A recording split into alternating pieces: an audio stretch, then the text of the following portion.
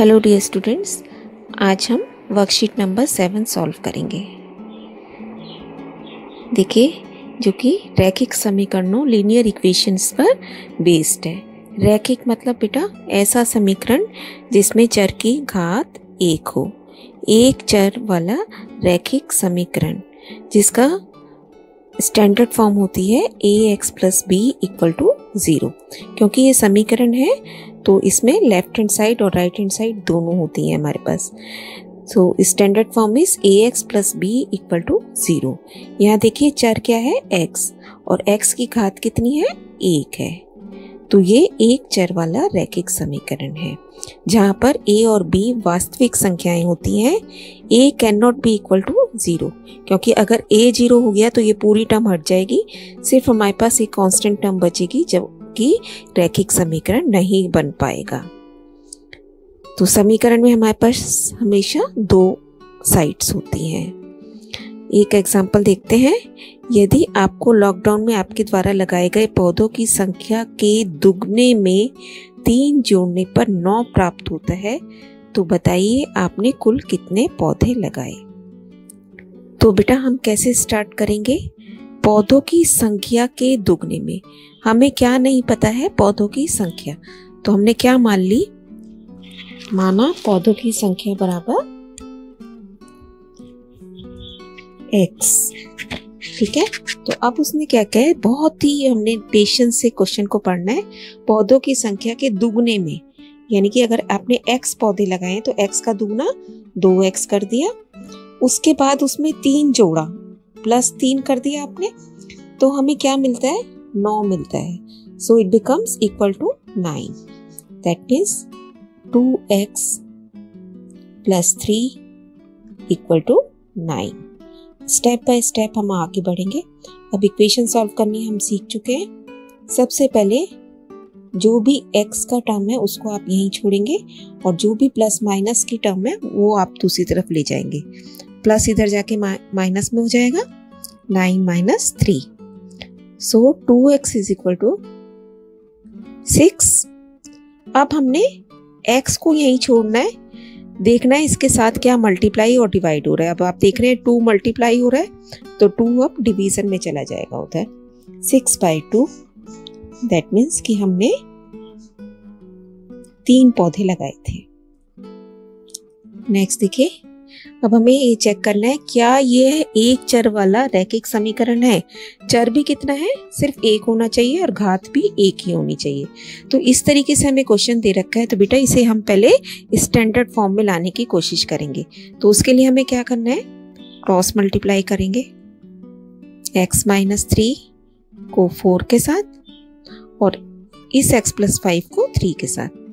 तो x minus three four बाहर लिख दिया। और थ्री के साथ क्या चला जाएगा? X प्लस फाइव अब आप ब्रैकेट ऑफ़ करेंगे.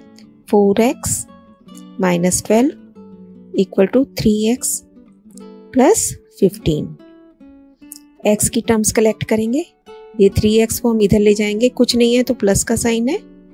Four x minus three x और ये जो ट्वेल्व है, ये फिफ्टीन के साथ जाके उधर माइनस के बदले प्लस हो जाएगा। अब four x minus three x is one only और ये क्या कितना बन गया?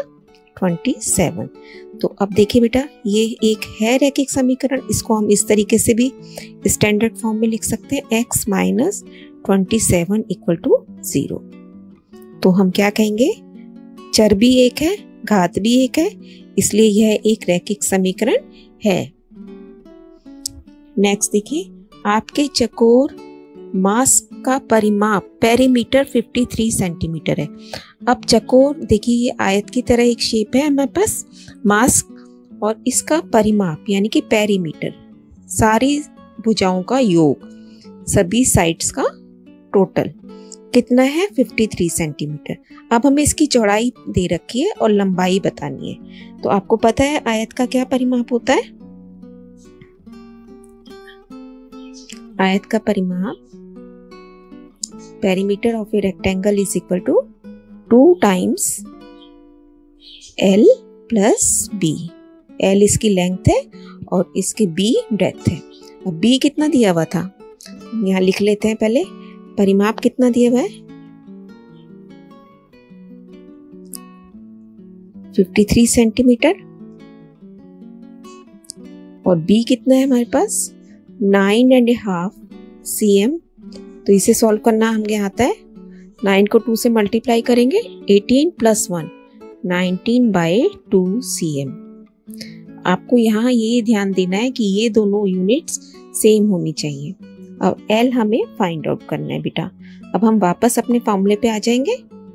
जो जो चीज़ें हमें गिवन है, उसमें वैल्यूज़ रख देंगे। So it is 53 is equal to two times l plus nineteen by two अब हम क्या करेंगे? ये जो सबसे पहले टू पूरी ब्रैकेट के साथ मल्टीप्लाई हो रहा है ना, इस टू को हम डिवीज़न में ले जाएँगे। 53 three by two is equal to l plus nineteen by two next step में आप 19 बाय टू को हटा देंगे, वहाँ पे खाली एल रह जाएगा। इक्वल टू एल और जब आप इसे सॉल्व करेंगे, हमारे पास आएगा 34 four by two which is equal to 17 c m यानी कि इस मास की लेंथ 17 सी एम है। नेक्स्ट देखिए आप आपको खुद करने हैं ये क्वेश्चन जैसा अभी हमने पीछे चेक किया था कि बताइए यह एक चर वाला रैखिक समीकरण है या नहीं है। तो सेम जैसे अभी हमने किया है सेम उसी तरीके से आप इनको क्रॉस मल्टीप्लाई करेंगे और स्टैंडर्ड फॉर्म में ला के चेक करेंगे। देखिए, एक क्वेश्चन और कर लेते हैं। Second two y minus five इसको जब हम क्रॉस मल्टीप्लाई करेंगे टू के साथ, है ना? और फोर के साथ किसको करेंगे? Y प्लस एट को। नाउ ब्रैकेट ओपन करेंगे फोर वाई माइनस टेन अंदर वाली सभी टर्म से बाहर को मल्टीप्लाई करना है four y plus thirty two देखिए फोर वाई से फोर वाई कैंसिल हो रहा है यहाँ पर।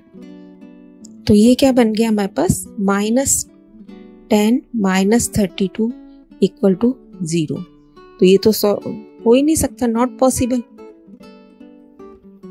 है ना? तो ये एक रैखिक समीकरण नहीं है।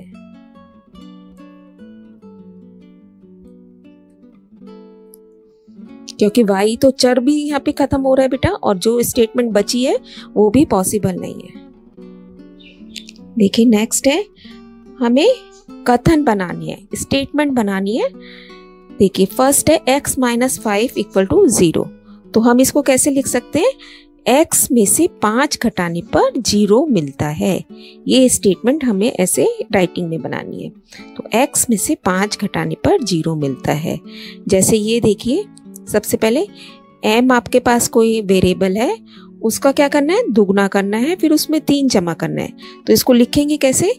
m के दुगने में तीन जोड़ने पर छप्पन मिलता है।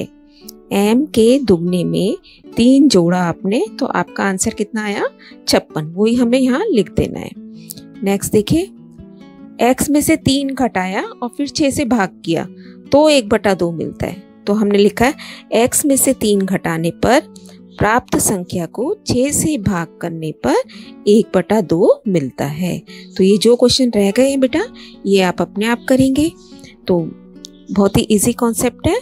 आई होप कि आप क्लियरली समझ गए होंगे। Keep on learning stay blessed